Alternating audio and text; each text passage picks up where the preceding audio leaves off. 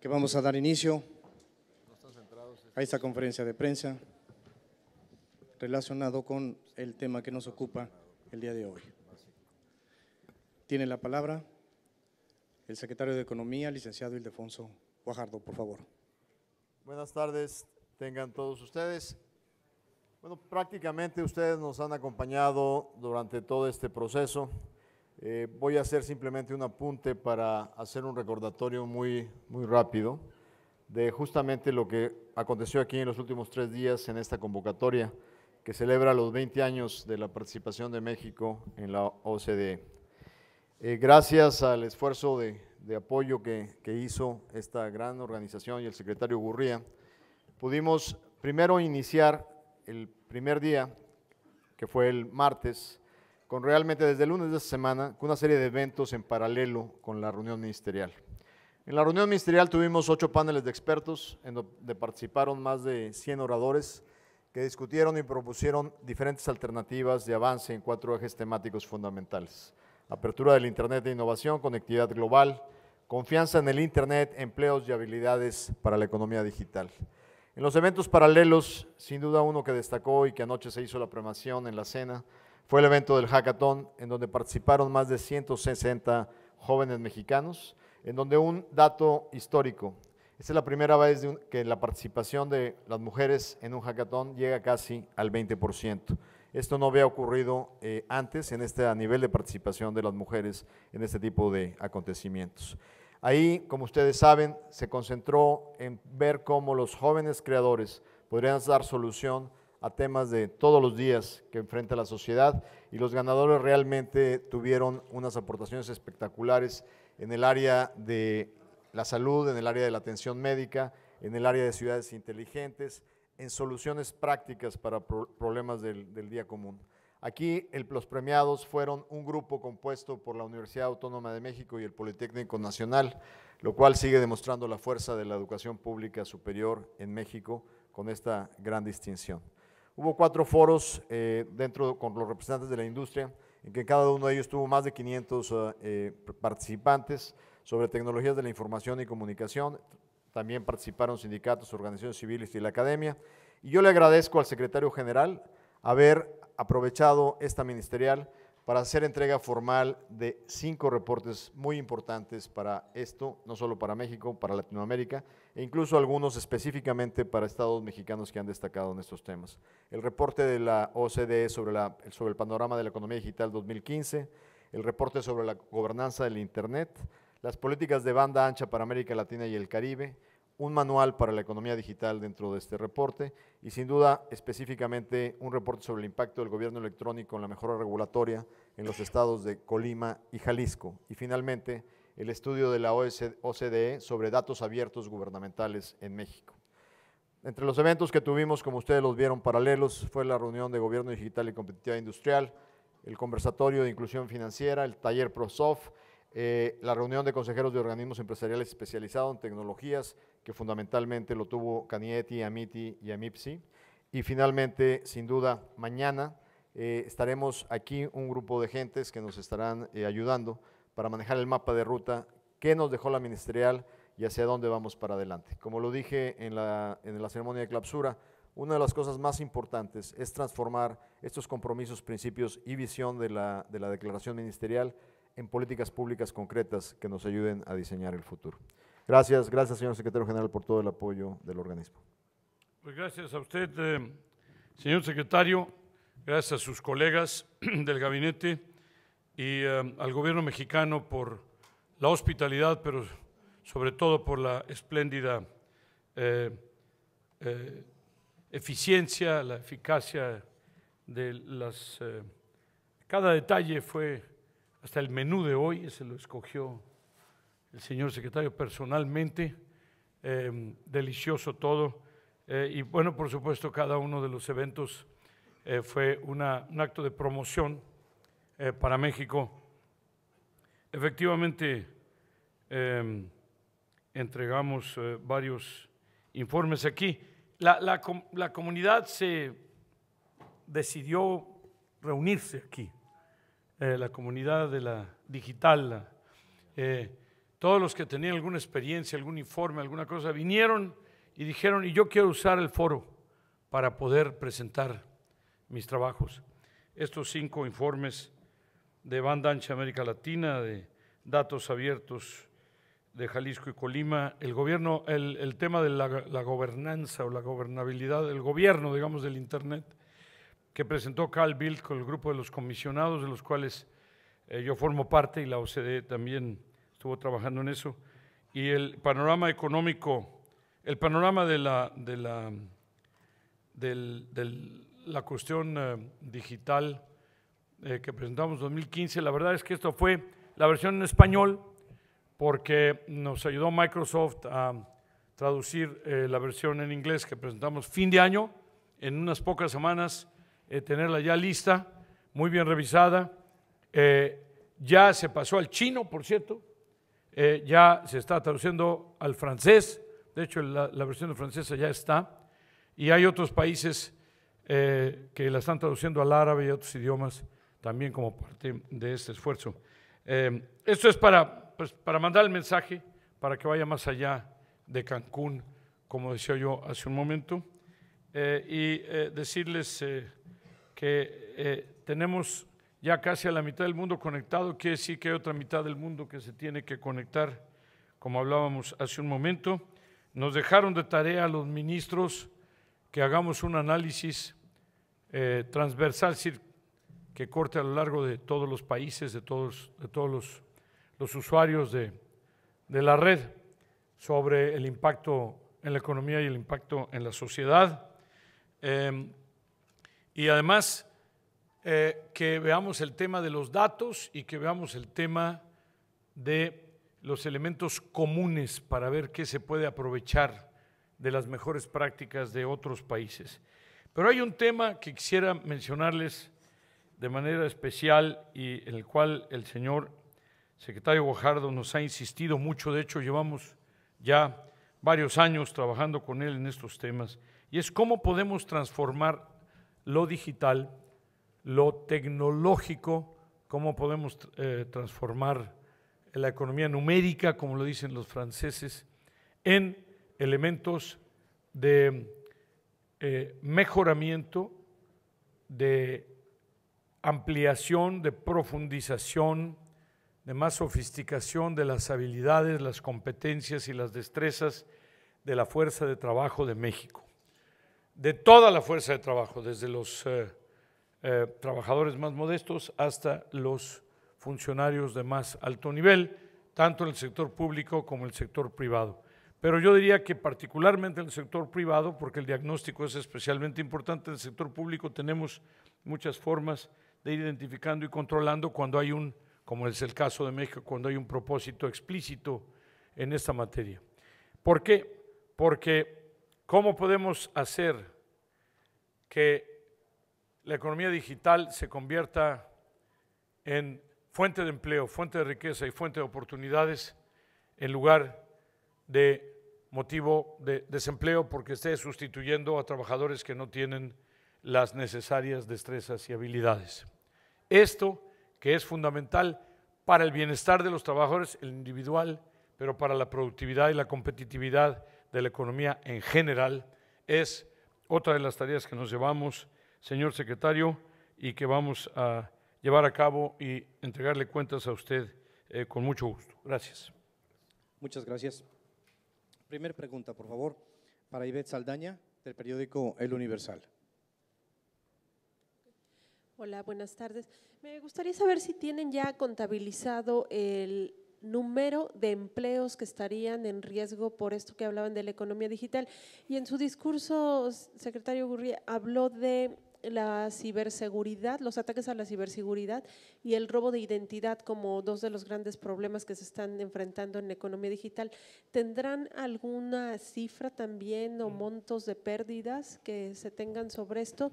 Y a los dos me gustaría preguntar, ya son las 10 de la noche en Gran Bretaña, ya terminó la el referéndum que se está haciendo allá y aparentemente unas encuestas que salieron recientemente dicen que está eh, más cargado hacia el permanecer con la Unión Europea que salirse. Si me pudieran dar algún comentario, si ya están más tranquilos los mercados, que fue también lo que estuvimos viendo un poco. Gracias. Son muchas preguntas. Eh, yo sobre este último tema lo que haría sería esperar unos minutos más, quizá una hora o dos horas más, a que tengamos la confirmación.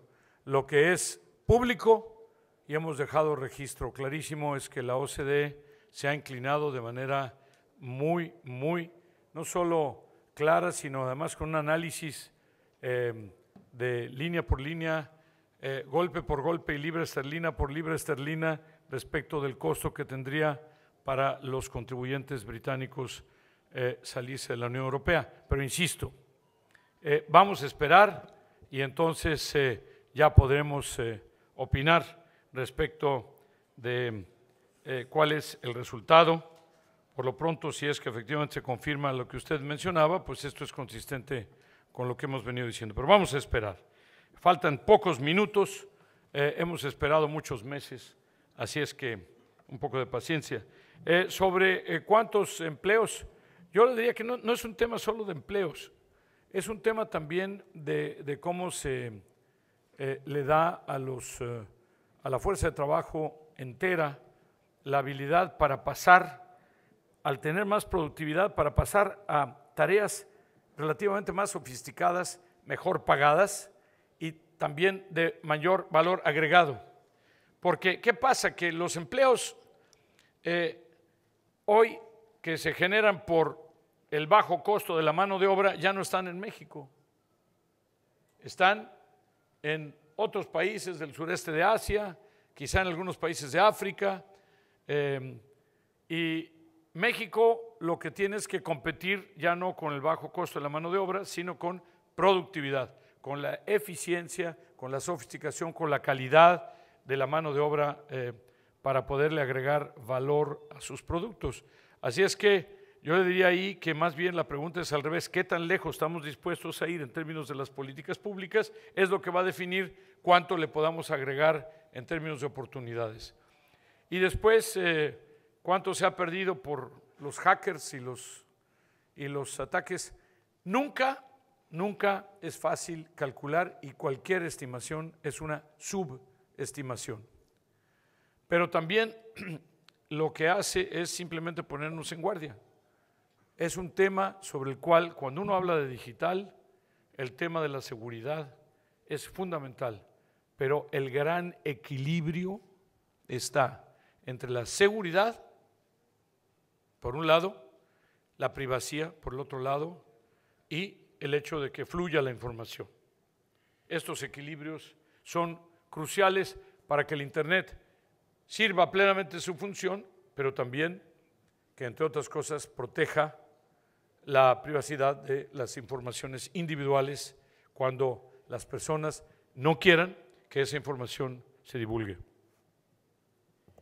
Básicamente yo empezaría por comentar, eh, al igual que confirmó el secretario general, hay que esperar al final del conteo en Gran Bretaña. Eh, en el pasillo, algunos amigos eh, británicos simplemente hicieron un comentario que seguramente es donde se va a hacer la pregunta.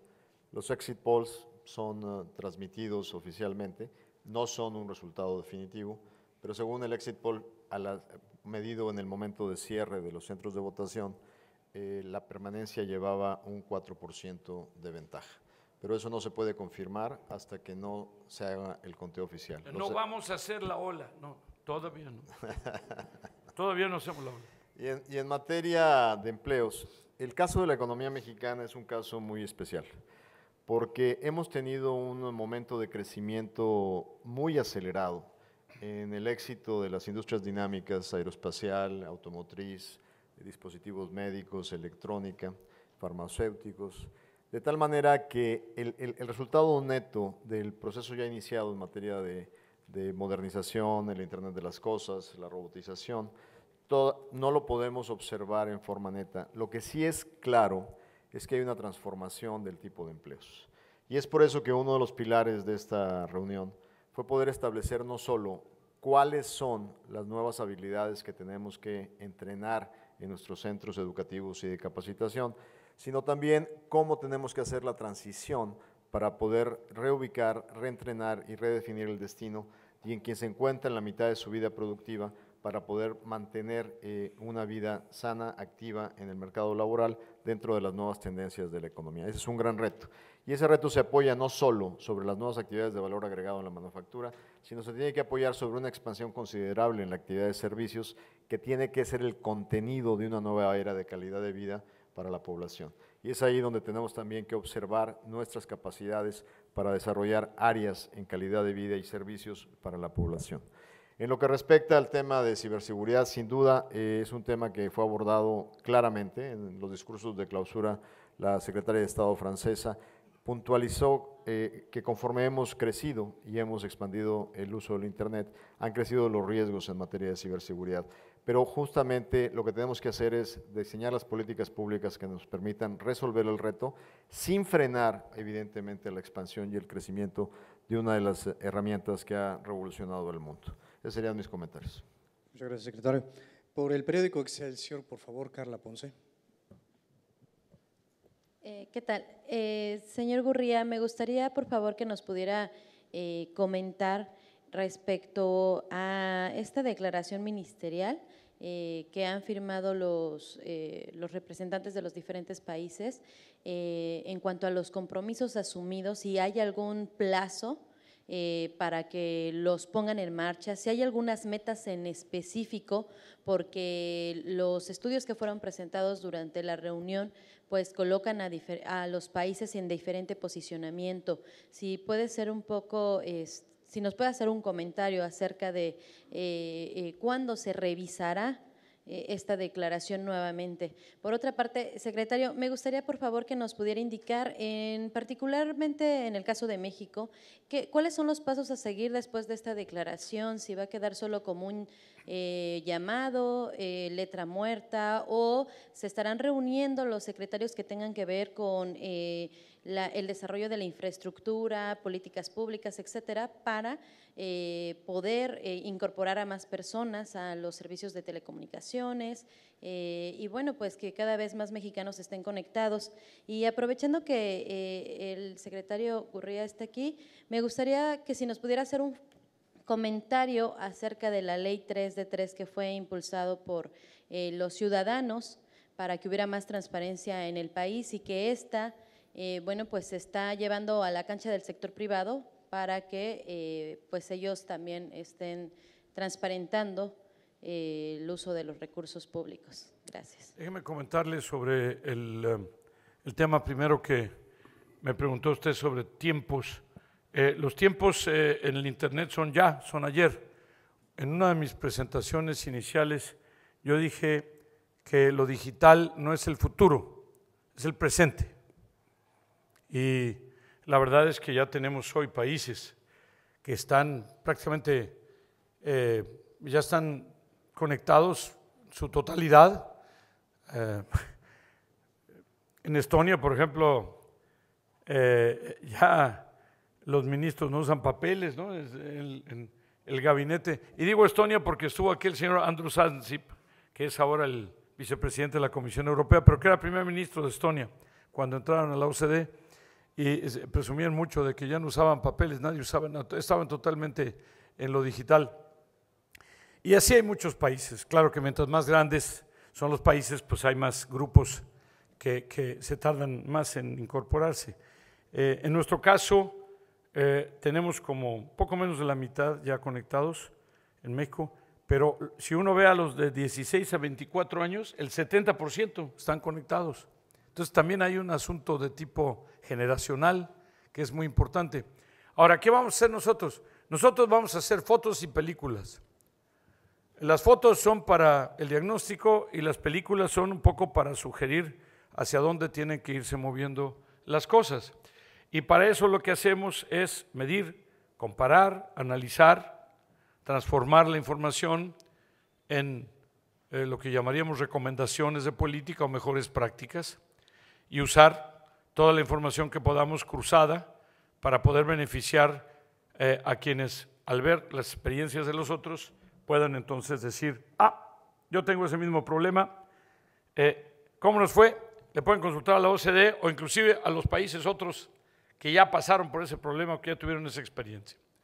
De esa manera lo que hacemos en la OCDE es lo que hacemos con las políticas de salud o de educación o de impuestos, es ir avanzando todos, ir emparejando un poco a los que se quedan atrás y, e ir eh, eh, en un proceso de convergencia.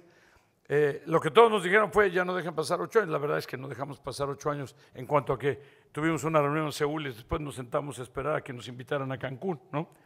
nos pusimos a trabajar muy fuerte y en el Inter recibimos la invitación del Gobierno de México con motivo de, esta, de este evento que ha sido muy exitoso, muy importante, con una asistencia excelente en materia de los países más adelantados en la materia, pero también países en desarrollo que están escuchando, que están viendo y que están buscando emparejarse.